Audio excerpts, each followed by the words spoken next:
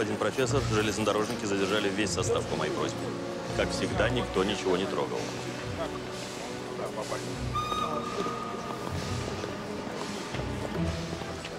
Поезд следовал из Москвы в Петербург. Последняя остановка была 6 часов назад. Проводник его обнаружил, сказал, что пассажир сел в Бурге. Просил разбудить его перед подходом поезда к столице. В купе ехал один, никто к нему не входил. Признаков насильственной смерти нет. Поэтому я пригласил вас, чтобы вы подтвердили, что пассажир умер естественной смертью.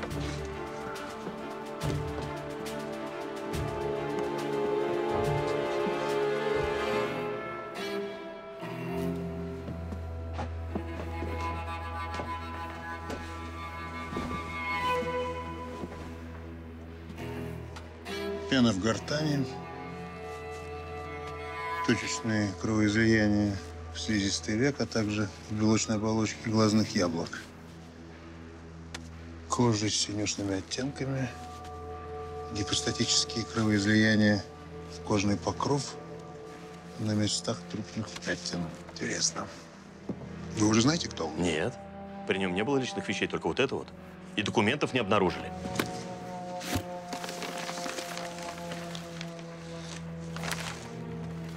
Ну что скажете, Аркадий Гаврилович? Иван Дмитриевич, Ну, судя по цвету кожи и лопнувшими сосудами глазных яблок, говорит, что это асфиксия. Но пена, смелей, смелей, мой друг. я бы сказал бы, что он утонул. Утонул в поезде.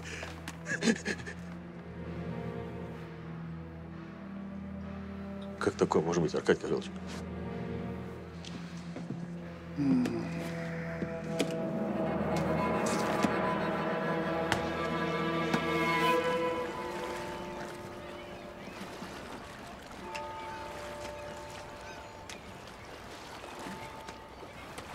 Два фута за ночь. Восемь футов за два дня. Она прибывает быстрее, чем я думал.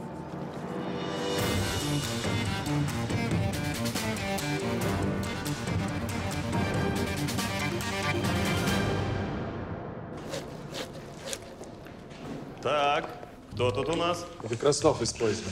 Ну что, жизнь снова кипит, да?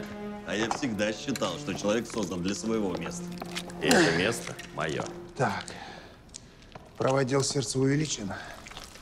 В левом рыхлые кровяные свертки. Легкие имеют очаги ателектаза со скоплением жидкости в альвеолах. Я думаю, что мы имеем дело с так называемым сухим утоплением. Человек тонет, его откачивают, поэтому ребро сломано. Сломано ребро? Вода осталась в легких. Впоследствии этого он и задохнулся. Ну что, искупался ночью в Бурге? Не слишком ли холодно нынче для купания, а, Аркадий Гаврилович? Господин полицмейстер, у нас мертвый мальчик. Городовой Панченко, а также пасечник и Титов возвращались в участок. Было темно. Говорят, ничего не заметили. Услышали крики, остановились. Полицейский экипаж протащил мальчика несколько улиц. Что, были пьяные, что ли? Божаться, что нет. На площади было много народу. Десятки свидетелей. И теперь люди на улице. И теперь они требуют, чтобы мы им выдали наших людей. А ну давай сюда этих шельмецов, я их сейчас разрублю самостоятельно на куски и выкину по частям толпе. Живо! Григорий Андреевич, погодите минуту.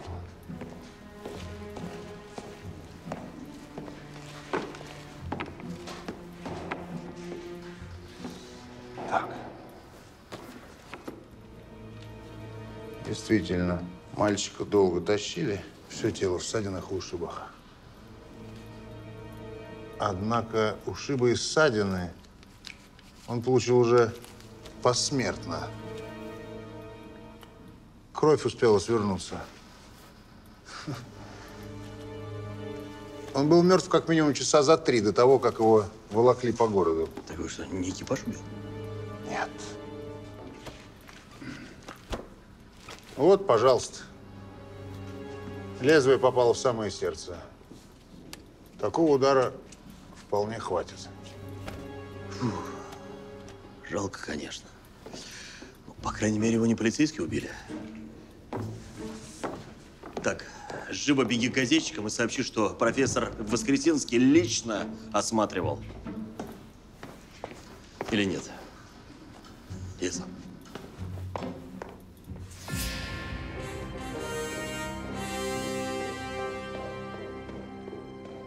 Ваше превосходительство телеграмма из Государственного совета. Вы просили доложить немедленно. Они вынесли мою кандидатуру на обсуждение в следующий четверг. Только мою.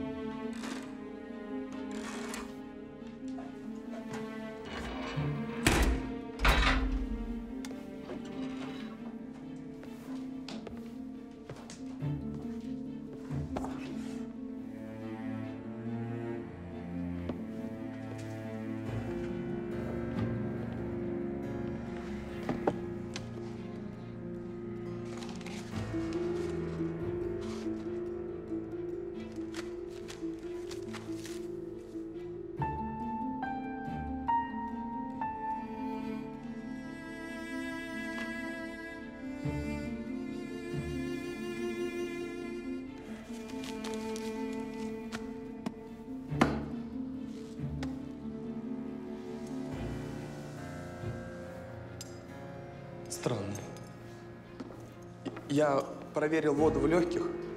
Ничего интересного, кроме повышенного содержания железа. И очень странные частички. Шпионите. Господин полицмейстер обратился в нашу газету, и мне поручили написать материал. Скажите, если это не полицейские убили мальчика, то кто?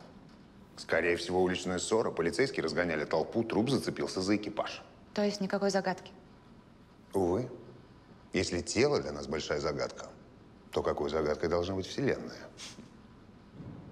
Хорошо. Я сама найду, где и почему погиб этот ребенок.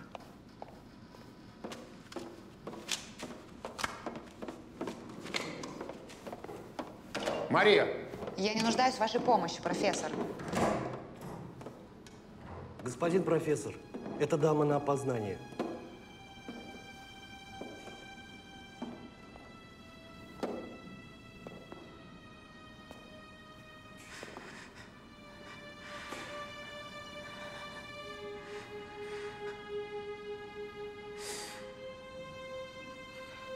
Это ваш муж? Он был инженером. Выполнял заказы морского ведомства. Зачем он ездил в Москву? Там живет его сестра. Он ее навещал. Спасибо вам. Скажите, а что ваш муж делал ночью в Бурге? В Урге.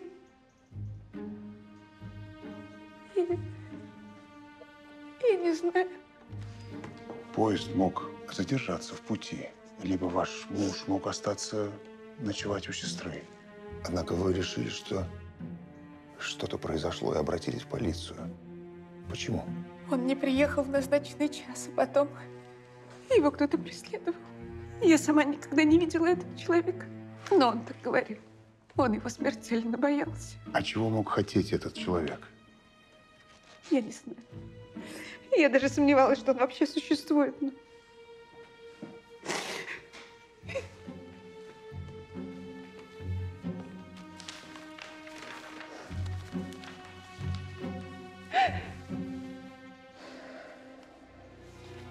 Господин этот приехал накануне.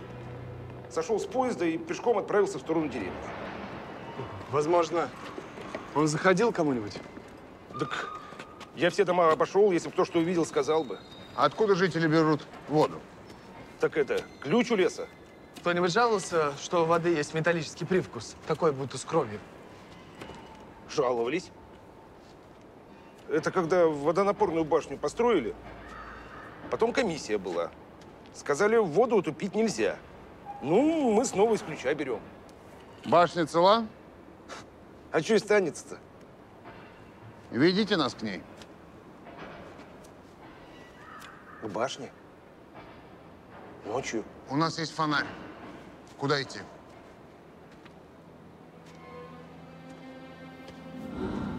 Братья, которые, ну, башню построили, не поделили невесту. И один толкнул другого в колодец.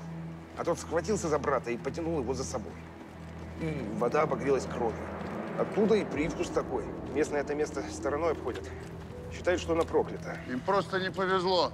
Они нашли источник с большим содержанием железа.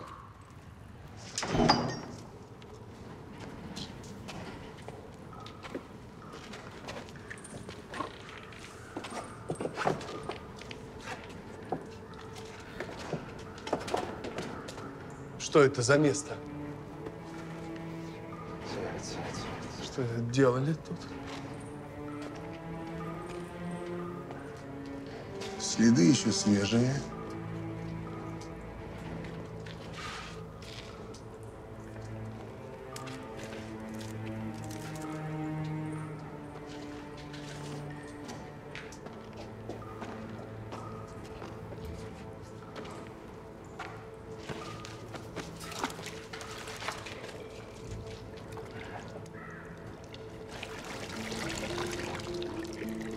Очки инженера. Эти, эти странные частицы. Тут его и топили.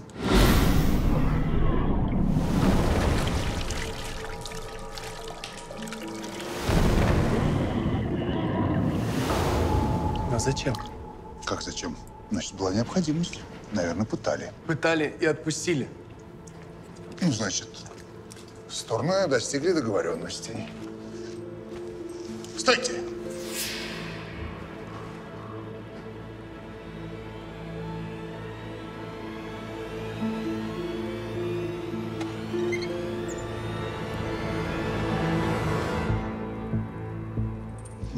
Пожаловать на шабаш. Ящиков было больше. Гораздо больше. Что они задумали?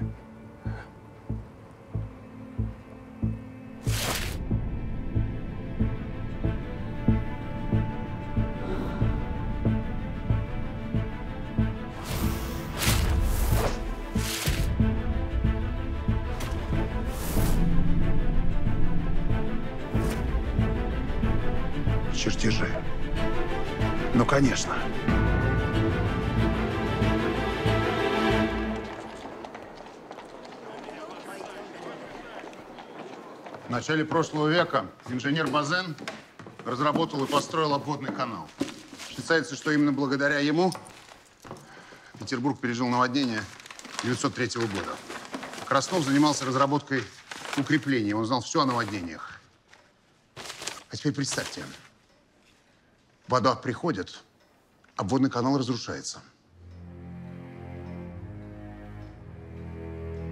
Они что, хотят затопить Петербург? Стихия, если ей помочь, разрушит гораздо больше, чем любые маленькие точечные акты бомбистов. Господин полицмейстер, Что еще? тут жена инженера. Мы с ней уже виделись. Это другая.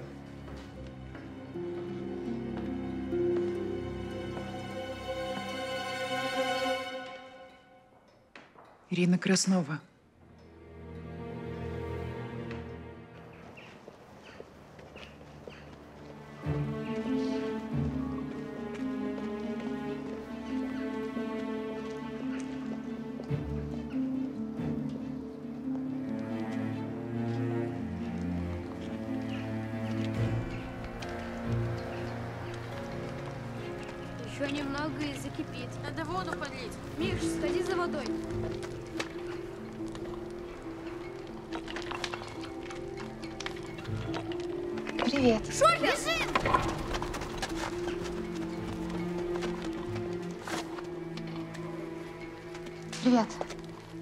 Не бойся меня, хорошо? Послушай, ты... Ты знал Никиту? Мальчика, который погиб ночью. Осторожно! А!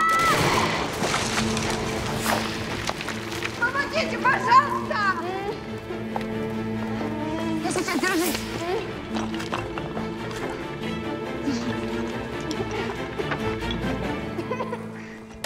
Нас с мужем дом в Москве. С тех пор, как он начал работать на морскую комиссию, он часто стал уезжать в столицу. Я предлагала переехать, он не хотел. У него в Москве отец с матерью, он заботился о них. Скажите, вы не замечали ничего странного в последнее время? Нет. Что? Может быть, он жаловался, что его кто-то преследует? Нет. Нет, боже, нет. Не было ли подозрительных знакомств или угроз? Нет, ничего такого не было. Вот это, что такое? Его работа. Борис не считал нужным меня в нее посвящать. Я проверил ее бумаги. Все законно. Тогда кто же такая Елена, первая жена? Дама, которая приходила вчера на опознание, оставила свой адрес? Нет. Похоже, первое дело в должности окажется моим последним. Хм, Если позволите, я посмотрел чертеж на свет, его копировали. В некоторых точках есть метки. Я полагаю, это уязвимые места, которые бомбисты могут использовать. Займитесь бомбистами, мой друг. А я найду вам Елену. Фогель, ждите меня дома. Вы куда? Отлучусь ненадолго. Господин профессор, прошу проследовать за мной. К вашим услугам.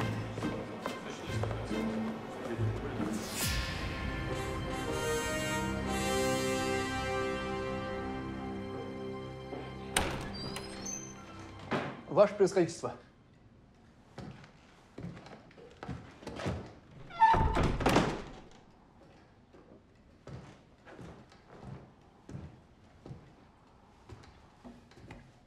Итак, я выполнил вашу просьбу. Господин Чудаков вновь назначен полицмейстером.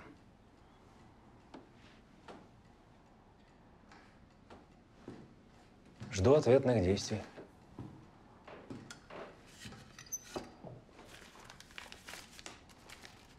Прочтите.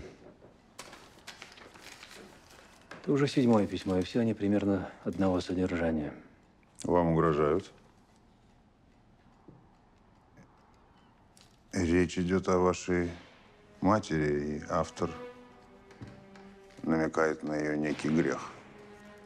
Моя мать умерла, когда мне было 8 лет. Отец был намного старше ее. Он был государственный человек, меценат. Всегда помогал нуждающимся, открывал приюты для бездомных, дома презрения для инвалидов. Весьма почетное занятие. Он умер спустя два года после смерти супруги. 12 лет назад я переезжал в новый дом. И когда перебирал вещи, наткнулся вот на это. В письмах моей матери. Это письмо она написала за два дня до своей смерти. Мой сын, я совершила много плохого, особенно по отношению к тебе. Я не могу просить прощения Читайте. вслух. Да. Я сама отказалась от этого права, поступив так с тобой, но я хочу, чтобы ты знал, что я люблю тебя. Я виновата перед князем. В сущности, он никогда не причинял мне зла. Тем хуже в этом свете то, что я и твой отец, настоящий отец, сделали. Твоя любящая мать. Выходит, князь вам не отец. Да. Через неделю меня назначат министром внутренних дел. И если это всплывет... Тогда вас не назначат министром внутренних дел, и вашей карьере наступит конец. Не только карьере. Моей семье, всей моей жизни. Чего вы хотите? Найдите этого мерзавца. У меня мало времени. А как умерла ваша мать? Незадолго до смерти я ее видел. Она кричала, была вся в крови, болел живот. Это было страшно. Могу ли я поговорить с ее доктором? Это было 30 лет назад, он умер. Хотя у его вдовы могли остаться записи. Прекрасно. Как мне их э, получить? Это так важно. Хочу проверить одну догадку. У моего секретаря есть ее адрес. Вокруг таких особ, как ваш отец, наверняка ходило много слухов. Ее связь не могла остаться незамеченной. Может быть, кто-то близкий мог об этом догадываться? У отца было немного друзей. Я мало кого помню. Был один компаньон, с которым они вместе начинали лесное дело, заготовка древесины в Псковской волости. Псковская волость. После его смерти артель продали. И сейчас, кажется, она процветает.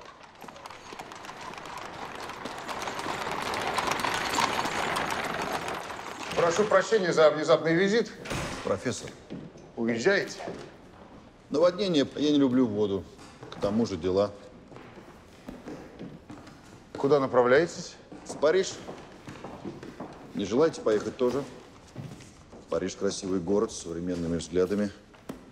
Мари стала излишне рисковать. Думаю, что это плохо кончится. Вы хотите, чтобы я увез ее из Петербурга? Я настаиваю. Со мной она не поедет. Не уверен, что поедет со мной. Бросьте, профессор. Она вас любит. Чем обязан? Вам принадлежит артель по переработке леса в Псковской волости. Вы выкупили ее у князя Румянцева. Не того, что фиглярничает в министерстве, а у его отца. Нет. С тех пор она несколько раз перепродавалась. Я выкупил ее у купцов Рогачевых, что держат лавки в гостином дворе. Значит, вы ничего не знаете про компаньона князя? Я покупаю дело, профессор, а не его историю. Счастливого путешествия. Благодарю.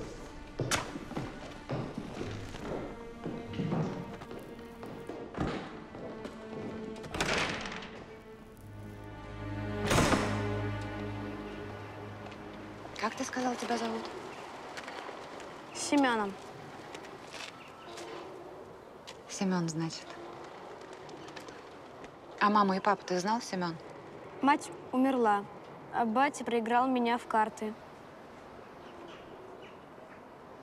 Скажи, Семен, а ты знаешь, что случилось с Никитой? Его поставили просить милостыню. А где поставили? У Притеченского моста. То есть есть человек, который ставит вас просить милостыню, да? Да, И вы за это ему даете деньги. да. А как зовут этого человека? Яков. Скажи, а можешь отвезти меня к нему? Курьер передал вам бумаги, они лежат на столе. Благодарю. Это важно. Господин полицмейстер дважды звонил. Они начали обыски домов на обводном канале. Спрашивал про Елену. Мы даже еще не начинали. Считайте, что мы ее уже нашли. Кстати, частица, которую вы увидели в воде от сигары. Тот, кто пытал инженера, курил. Как мы найдем Елену? Когда она расплакалась, она прижалась. Помните? У нее очень тонкие духи. Только не говорите мне, что вы собираетесь отыскать ее по запаху. Я заметил ярлычок на ее блузке. Это мастерская по пошиву платьев. Я зашел туда. Портной вспомнил эту женщину и назвал мне ее адрес. Вуаля! Так это же... Да, она живет на обводном канале.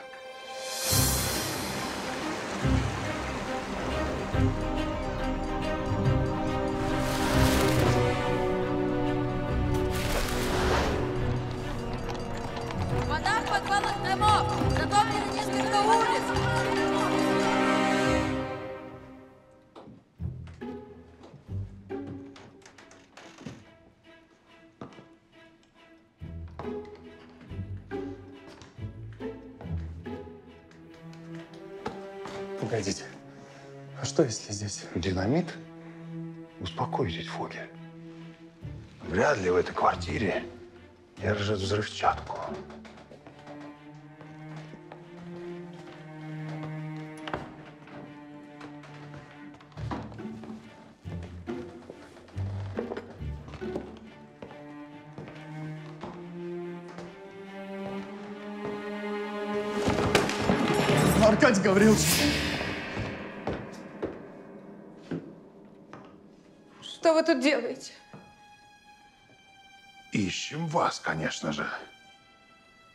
Давайте начнем сначала. Кто вы? И откуда вы знаете инженера Краснова? Я его жена. Перед людьми нет, но перед Богом. Передайте, пожалуйста, пистолет. Вы ведь все равно не будете стрелять. А почему вы пришли в полицию? Он не приехал. Я подумала, что нужно рассказать о преследователе. О том, что Борису грозит опасность. И вот вы узнали, что я его любовница. Ясно. А теперь давайте правду. Вы скопировали карту и передали ее бомбистам. Им этого оказалось недостаточно, они заманили Краснова и начали его пытать, чтобы узнать про слабые места обводного канала, так? Он указал точное место. Затем Краснов умер в поезде. Для вас это стало неожиданностью. Под видом его жены вы пришли в полицию, чтобы выяснить, что стало известно о планах бомбистов. После сообщили своим подельникам, что им ничего не угрожает. Кто эти люди? И кто ими управляет? Я не знаю. Он сказал, мне нужно стать любовницей Краснова и сделать то, что я сделала. Больше мне неизвестно ничего.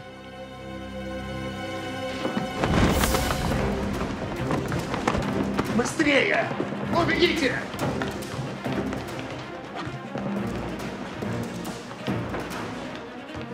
Там черный ход. Она убежала. Неужели? Дверь захлопнула. Ладно, Фогель. Думаю, она рассказала все, что знала. Если бы знала больше, давно бы уже исчезла из города. Тут бумаги, они выпали из вашего саквояжа. Что это? Запись об одной пациентке. Запущенный эндометрит с осложнением брюшной полости, перитонит, кровотечение, лихорадка, осложнение при родах. Эта пациентка умерла уже более 40 лет назад. Да, но зачем вам это? Это дамы предстоящий теракт, звенья одной цепи. Фогель, как вы считаете, если в знатных семьях ребенок рождается, скажем, не от отца семейства, куда его тянут? В приют императрицы Марии. Так. Тайный советник является его попечителем. Тайный советник? Быстрее, Фогель. Надо спешить.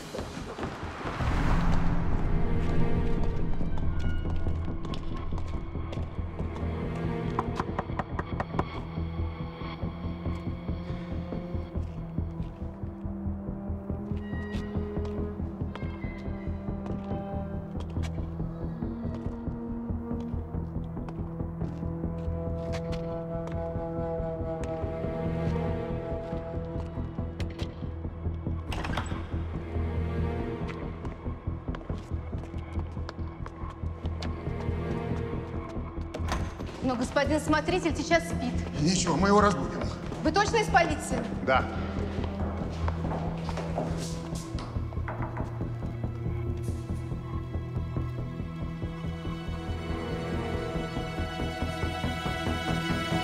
Фогель. Господи. Нас кто-то опередил.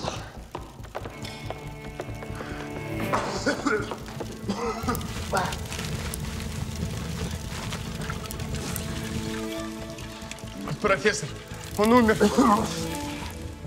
Фогель, вызывайте околоточного. Не могли бы вы открыть окошко? 63-й.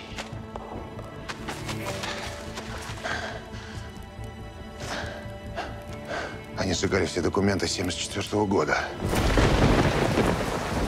Фогель! Фогель!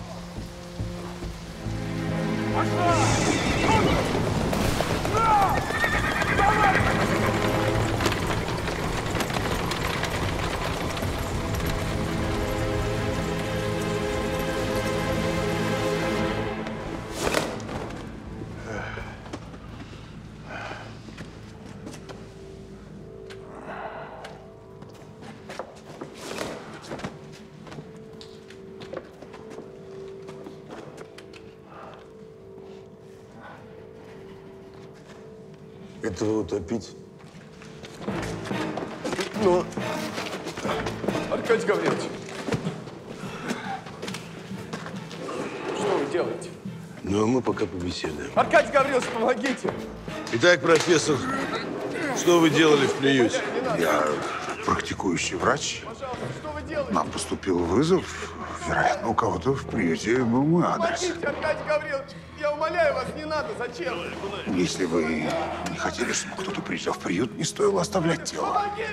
Помогите! Помогите! Вас видели в полицейском участке. Что вы искали в приюте? Вероятно, ваше прошлое.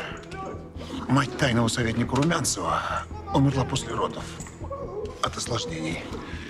Она могла бы спастись, обратись она за помощью раньше, но ребенок был незаконно рожденным, и поэтому все пытались скрыть до последнего. Вас отняли у матери, и, и спустя время у вас созрел план мести. Письмо, которое мать адресовала вам, вы подкинули Румянцеву. Румянцев поверил, что этот ребенок он.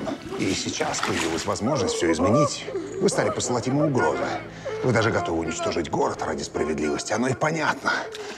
Вы никогда не знали материнской ласки и, думаю, ненавидели всю жизнь того, кому все это досталось.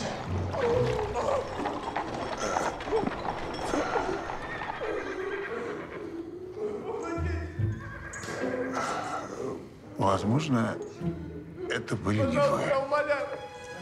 Что вы делаете? Отпустите! Потап, он приехал! Сядь сюда! Садитесь в закрытую карету и поезжайте. Фогель, как вы там? Нам надо выбираться отсюда. Пистолет! Он все время был у вас? Почему же вы им не воспользовались?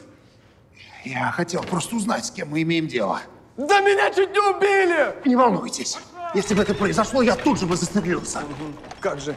Нужны вы мне там. Вы двое оставайтесь здесь. А с этими что делать? Прикончи их.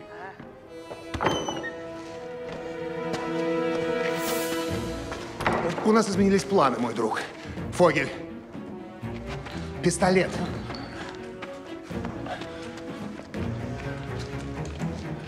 Что там у тебя? Профессор!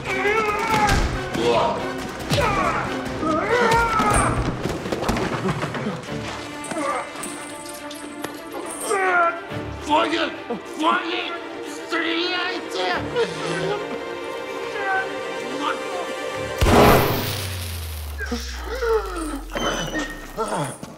Петров, что там у тебя? Фогель, уходим!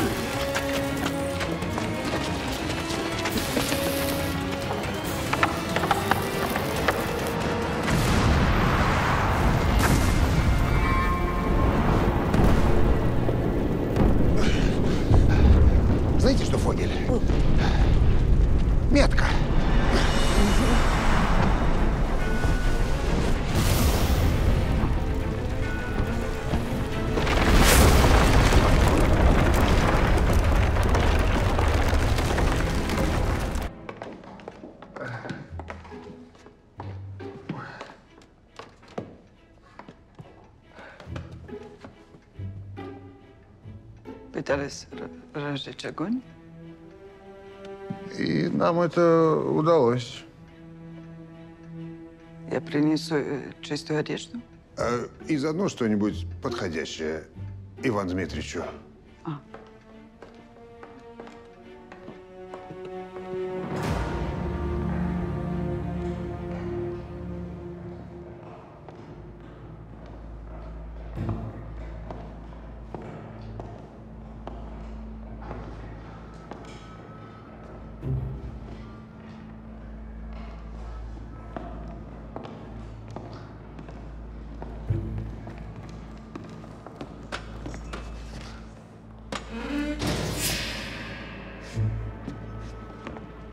по поводу мальчика, который погиб. Вы...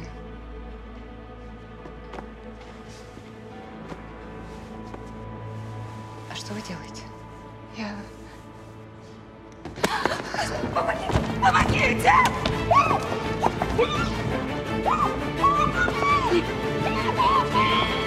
Ты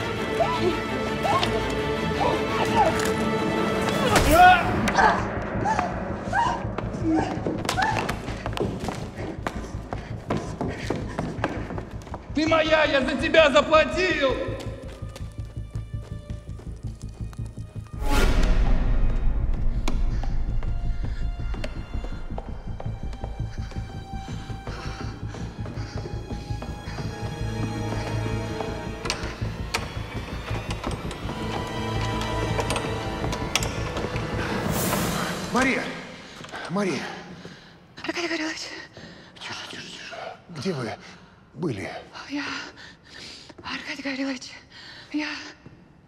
То место, где погиб бродяжка у Перетеченского моста на обводном канале.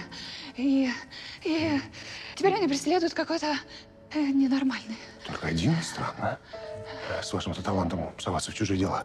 Зачем вам вообще понадобился этот мальчик? И что за сенсацию вы хотели найти в этом убийстве? Аркадий Гаврилович, ему было семь лет. Он был бедный. Он просил милости. И теперь он умер. И об этом никто не знает. А, я нашла то место, где в ту ночь ночевал тот бродяга. А, вот. Ага. Мы можем поехать сейчас. Этим займется полиция. Я сейчас позвоню Судакову. Он все равно не спит. Бегает по городу в поисках бомбистов. На улицах волнение. И вам лучше остаться дома. Можно? Успокойтесь.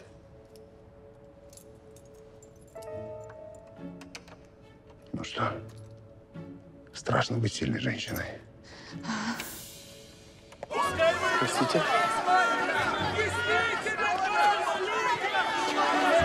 Граждане, попрошу всех успокоиться!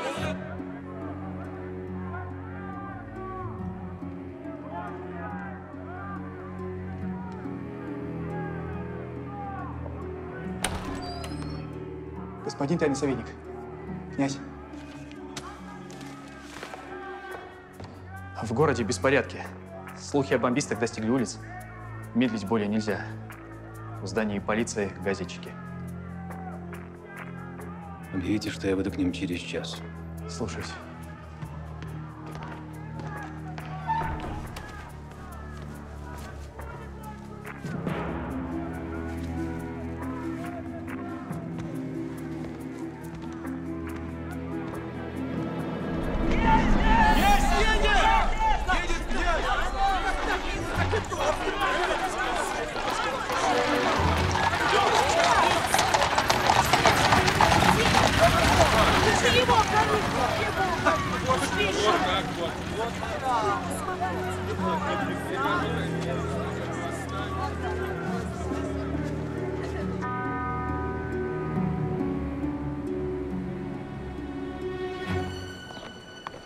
Аркадий Гаврилович!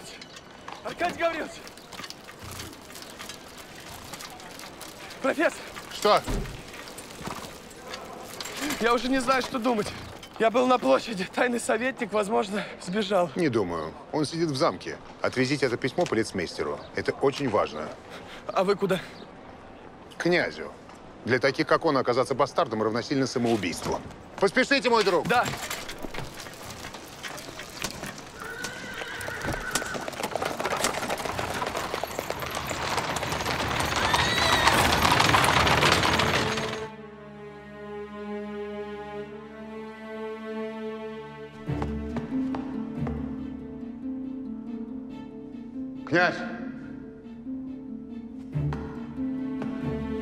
Господин тайный советник! Князь, это профессор. Князь, я кое-что узнал. Это письмо ваша мать писала не вам. Был еще один сын. Я не знаю пока кто он, но я уверен, что он скоро проявится. Князь! Вы? Вы были так близки к разгадке, что я уже начал побаиваться. Как бы вы мне не помешали. Проходите.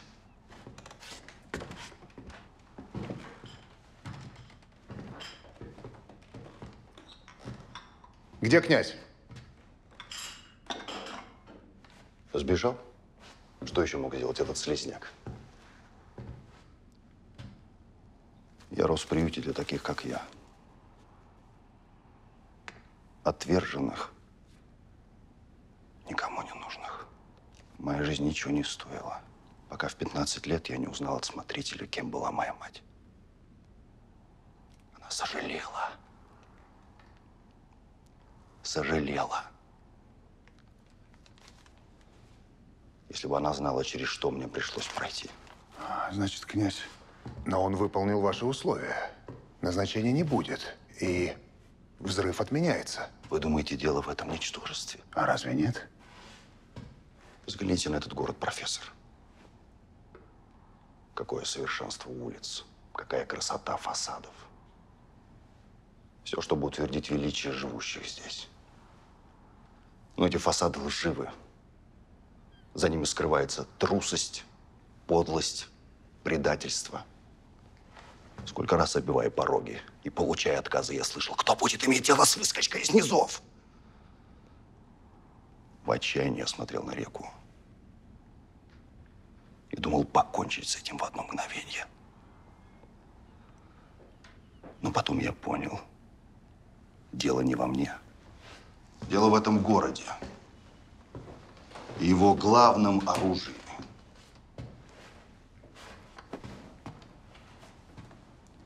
Равнодушие.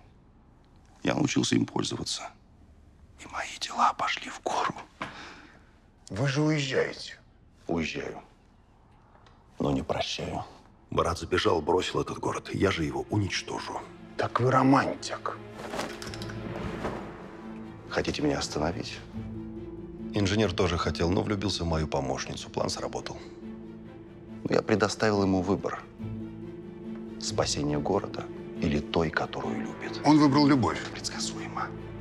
Мне гораздо интереснее, что выберете вы. Где Мария? Ближе, чем вы думаете. Сейф герметичен, так что воздуха там осталось немного. Вам следует поспешить с выбором. Откройте немедленно.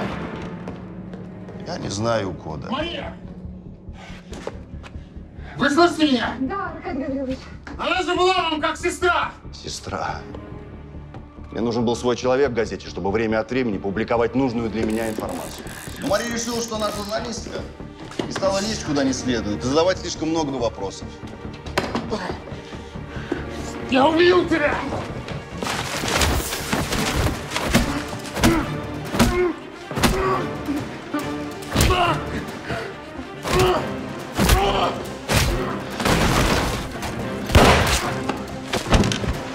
Не двигайтесь. Я предлагал вам взять Марию и уехать, но вы всегда поступаете по-своему. Игра окончена, профессор. У вас есть два часа, чтобы убраться из города. Затем стихия уничтожит его. Думаю, будет грандиозно. Стой! Уезжайте, профессор. Мария! Как давно вы там? Кажется, часа три. Вы можете назвать размер сейфа? Три, три шага вперед и два в сторону. Черт. Что, черт? Что, все плохо? Вы чувствуете головокружение? А, пока нет. А, а что, должна? А, ну все. Это отчаяние. Человек в среднем вдыхает 5-7 литров в минуту. Когда нервничает, может доходить до 10, значит, это тысячи литров в час. Ну, знаете, развлекать тонущего рассказывая о свойствах воды достаточно сомнительная идея. Вы там пробыли уже три часа. Размер сейфа где-то 5-6 футов. Я вспомнила. На часах было 8 утра. Это невозможно. Вы бы уже давно задохнулись. Ну, извините. Конечно.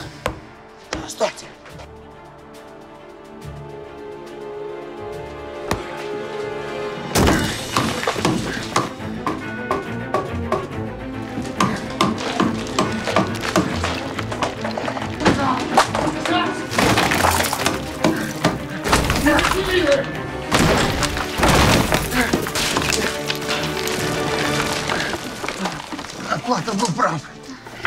Фасады.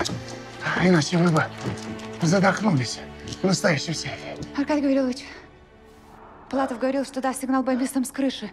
Если его остановить, то, возможно... Вот дьявол.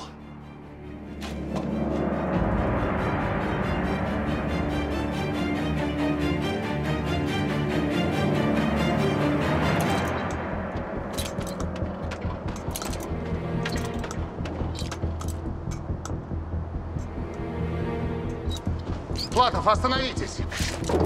Еще один шаг, и я буду стрелять в голову!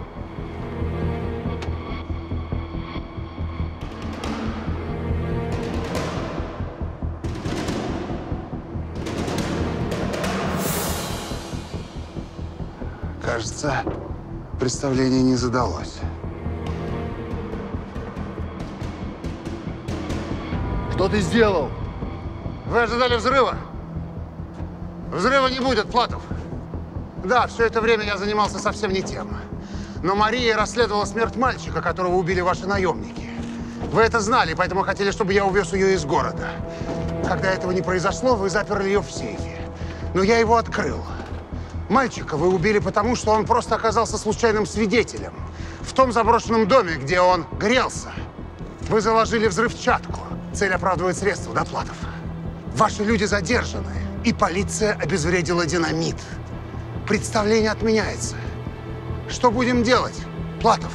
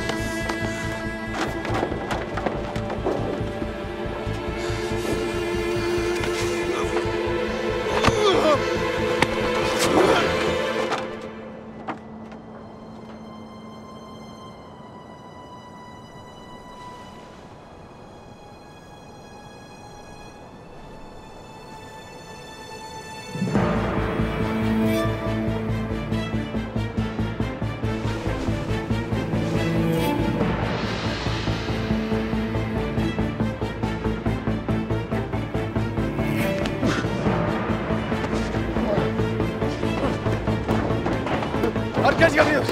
Проф- Профессор! Дайте руку! Руку давайте!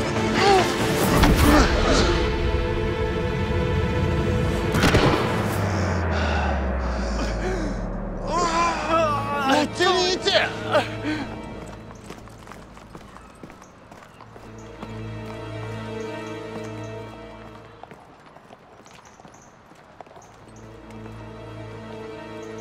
Мы не нашли тело. Его забрали черти. Серьезно, Аркадий Гаврилович. Это, кстати, загадка как раз для вас. Прошу простить меня, милейший Григорий Андреевич, но у меня другие планы. А как же? А вот возьмите на время Фогеля, я вам уступлю. Он толковый малый, если не подпускать его близко к оружию.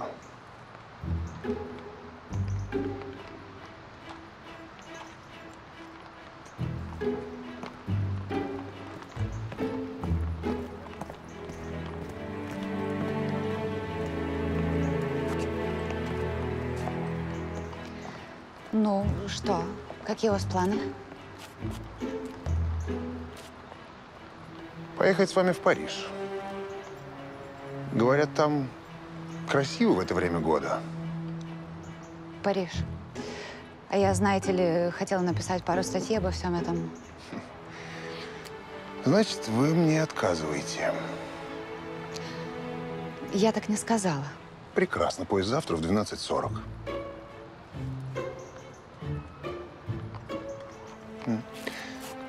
Хорошо. Тогда я поеду один. Аркадий Гаврилович, я ненавижу эту фразу, но с вами я готова ехать хоть на край света.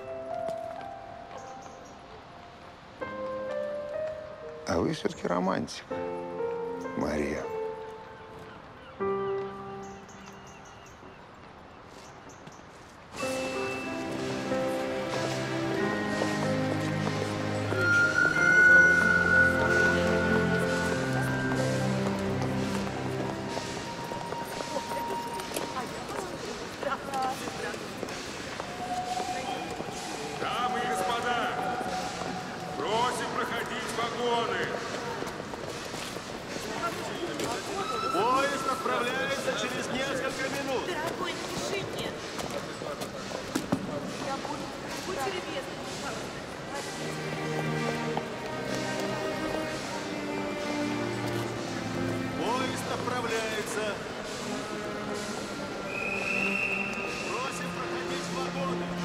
Господин едет?